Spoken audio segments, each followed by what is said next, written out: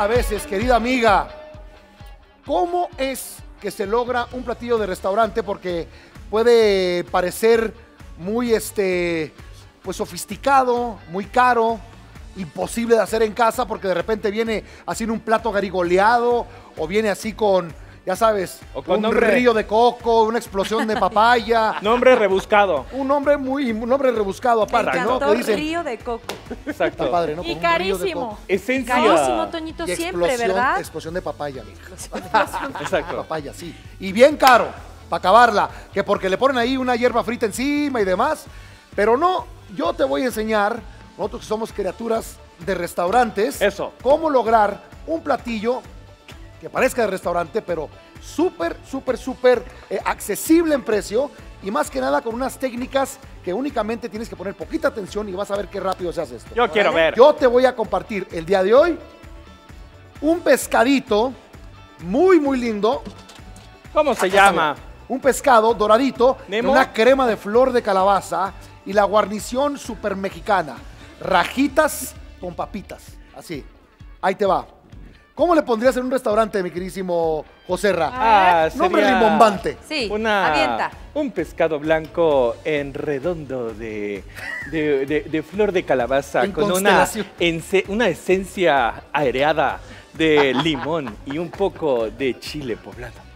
Ándale. Y al final es pescado con un poco de, de flor de calabaza. flor de calabaza, y ya está, hombre. Sí. Déjense de bobadas. Exacto. Sí. Por favor. A comer Claro, rico. posible. ¿no? A comer rico. Bueno, ahí les va. Vamos a empezar primero con la, este, vamos a empezar con la, cre- la cremita, porque tenemos un pescado muy delgado. Y ahora este pescado te voy a enseñar cómo hacerlo súper dorado y que se cocine de un solo lado, ¿eh? Mientras preparas todo lo demás. Chécate. Chécate, chécate, chécate y tómame el tiempo. Es más. Aceite de oliva en una cacerolita. ¿Ok? Qué delicia. También un poquito. Fíjate, comadre, ahí está, mira. Es lo que te iba a pedir. Poquita mantequilla igual, ¿eh? Se lo puse a la misma vez. Ya estaba un poquito caliente el sartén. Y aquí le vamos a agregar todo esto de flor de calabaza. para hacer una cremita. Ahí, Toñito. ahí. Y la flor de calabaza, Muy económica. verdaderamente económica. Aquí le vamos a agregar un poquito de pimiento eh, morrón amarillo. Y esto es nada más para alargar el color. es un poquito, el pimiento morrón verdaderamente no tiene un sabor tan predominante o tan hostigoso. Entonces se vale. Pero ese es el tipo de trucos que hacemos en restaurantes para lograr ciertos colores, lograr ciertas texturas. Esos son los tipos de cosas que hacemos nosotros, los chefs tramposos que somos. ¿no? Mucho, mucho Pero todo, amarillo. todo por darte cariño, ¿no? Toñito, mucho amarillo es un platillo para el América. Ya sofreímos este, y sudamos en aceite de oliva y eh, mantequilla, pimiento morrón, bastante este, flor de calabaza y un poquito de ajo picado, que eso no, no me dieron ponerle, ¿eh? Ya les va. Poquito caldo de pollo. Recuerden, les estamos enseñando cómo hacer un platillo como si fuera de restaurante. Ay. Queridísima amiga, comadrita querida, ¿usted quiere quedar bien con el marido? Sí. ¿Quiere quedar bien con las vecinas? Eso. ¿Quiere acá Sí. lucirse en esa cena especial? Aquí le enseño, o le estamos enseñando con ingredientes bastante, bastante comunes, ¿eh? Cómo lograr un platillo suculento, hermoso, como si fuera de esos restaurantes, que de repente se ve inalcanzable o muy caro. No. Como verás, fácil. Mira, cuando mi mujer, Loretinga, Sí. Hermosa mujer, estaba embarazada, este tipo de cosas es lo que yo le preparaba, ¿no? Como si fuese casi casi de restaurante. ¡Qué marido! pero súper nutritivo, que tiene también todos los, todos los elementos. Tiene su carbohidrato, tiene su verdura, tiene su proteína y tiene mucho amor. Oigan, Eso, ¿por dónde está eso. Nico? Ahí les va.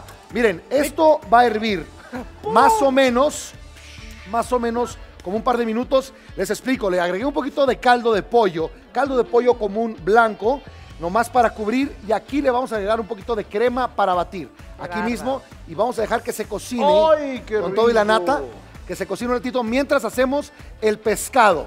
Te muestro. Oye, Tony, Un sartén muy grande. Dime. ¿dónde está Nico? Ay, canijo. Condenado Nicolás, seguramente debe de andar el condenado ahorita en Celaya, anda en el Bajío. Y como siempre, el condenado Nicolás mostrándonos la suculencia y belleza de nuestro país Qué a va. través de sus sabores. Vamos a ver a Nico y la elaboración de la cajeta de Celaya. Vamos ¡Qué a ver. bárbaro! Esta cocina de restaurante, estos platillos que de repente parecen imposibles de hacer o parecen muy caros, parecen demasiado exóticos, ahí te va. Son las mañas de chefs que de repente hacemos también para, pues, digo, para, para complacer a nuestra gente, Claro. a, a los comensales, y que tiene que ver más con las técnicas que uno usa, ¿eh? Y ahí te va, ya hicimos ahorita la cremita de flor de calabaza, que esto va a acompañar un pescadito doradito con rajas y papas. Uy. Ahora, ya habíamos puesto la flor de calabaza, pimiento morrón, ajo, con poquito aceite de olivo y mantequilla sudado, caldo de pollo, un toque de crema y ahorita lo vamos a licuar. Y ahora sigue la técnica del pescado. Chécate muy bien. Un sartén muy caliente. Y vamos a tomar aquí este pescado que es delicioso y es tilapia, ¿eh? Es muy, ba- bastante accesible, muy sequecita. Y quiero que chequen una cosa muy bien. Mira, les voy a mostrar. Si pueden ver bien, Sí. de este lado estuvo la piel, como pueden ver, tiene la franja de sangre ahí. De este lado fue del lado donde entró el cuchillo para filetearla. Este es el lado que vas a dorar para que te dé eso crujiente, dorado, hermoso, que tiene más concentración de azúcar. Ahí te va, mira. Ahí te va, mira.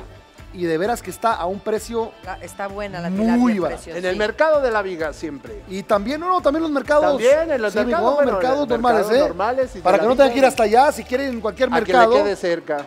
El que tenga cerca, exactamente, mi Robert, ahí le va. Lo ponemos del lado donde lo sazonamos, del lado que les comentaba, donde entró el cuchillo para filetearlo, para sacar el filete. Le echamos sal del otro lado, Por arriba. fuego bien, bien, bien, harto, harto caliente. Ahí lo vamos a dejar que se dore y hasta que se termine de cocinar de ese lado nada más. ¿eh? Del otro, del otro lado, por acá vamos a hacer la guarnición. Vamos a dorar unas papitas en aceite de olivo con rajas. ¡Qué Así de sencillo.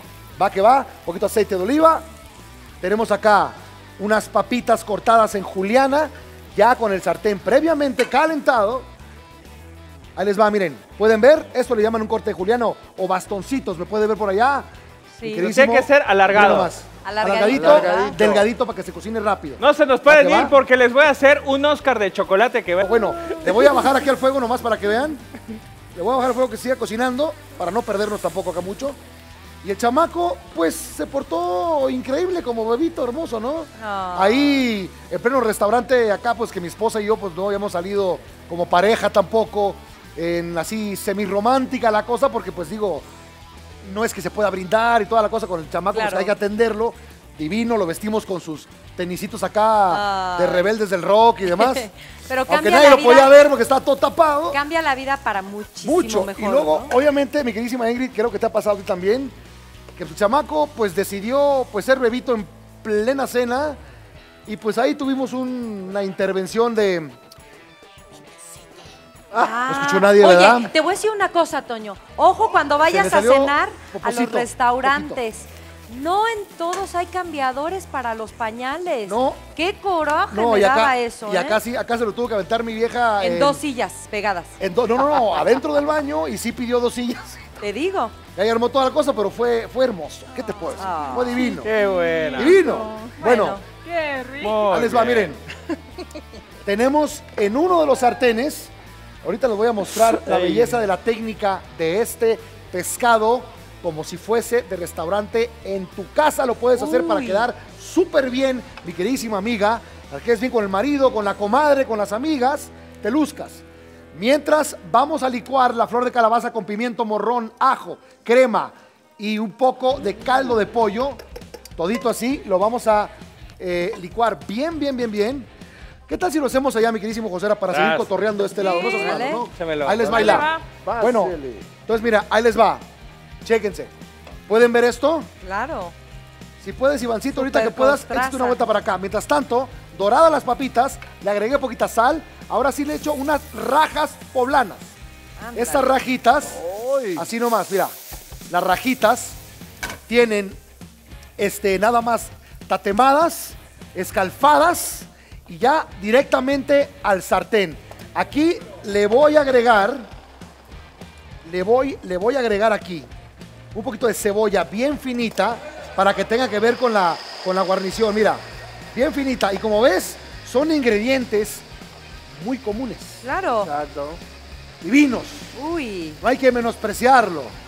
Pero te va a quedar como si fuera de restaurante. Mira, Ivancito, ¿estás listo? Mira, Ivancito, chécate esto, ¿eh? Miren, quiero que vean esto de acá. Mira cómo está la piel. Mira cómo está la piel. Mira Ay, cómo está la piel. Quiero que veas la piel. Mira nomás cómo está. Dorada, dorada. Aquí vamos a dejar que se cocine un poquito más. Ya estamos prácticamente con la cremita. Y ahí está. Miren, vamos a subirle al fuego mientras se sigue dorando. Ingrid, ¿qué nos tienes, qué nos tienes ahorita de, de De noticias? noticias, de noticias. Venga, platillo como si fuera de restaurante. Para que te luzcas, amiga. Comadrita, mira nomás. Ay, Mira Dios. nomás. Vamos a acabar esto así, ¿eh? Son ingredientes muy sencillos. Mantequillita, así.